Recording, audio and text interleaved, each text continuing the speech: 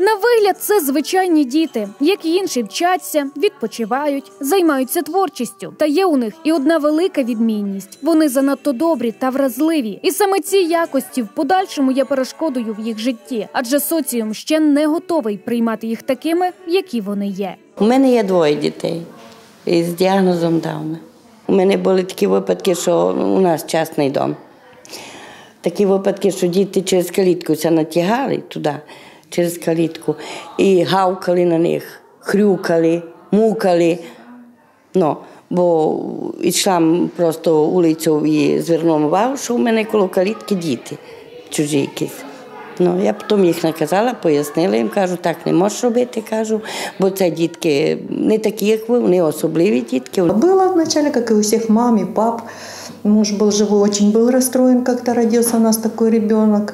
Было удивительно для него и непонятно, что как у папы, не пьющего, не курящего и вообще нормального человека, образованного, родился такой ребенок. Он очень долго не был с этим согласен, что так получается. А врач-генетик сказал, вы не волнуйтесь, как правило, такие дети рождаются в благополучных семьях.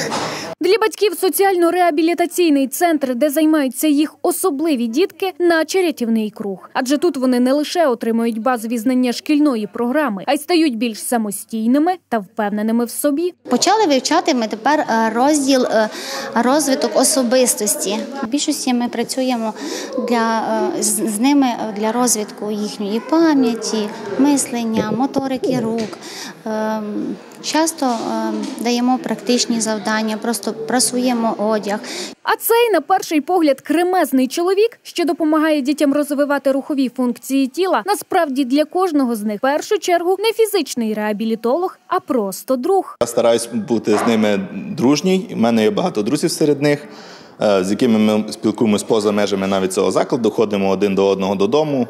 Я стараюсь їх внідряти, як можна сказати, в свою компанію, десь на природу, десь перегляд якогось фільму, поход в кінотеатр може бути навіть. Існує стереотип, що люди із синдромом Дауна не можуть знайти себе у цьому світі. Проте вихованці соціально-реабілітаційного центру доводять протилежне. Вони співають, вишивають, малюють, виготовляють різні вироби своїми руками та беруть активну участь в культурно-мистецьких заходах не тільки області, а й країни. Дуже важливо зацікавити дитину, перш за все, щоб заняття для неї були цікавими, щоб е, вона хотіла з вами спілкуватися, бо вони дуже відчувають ваш внутрішній стан.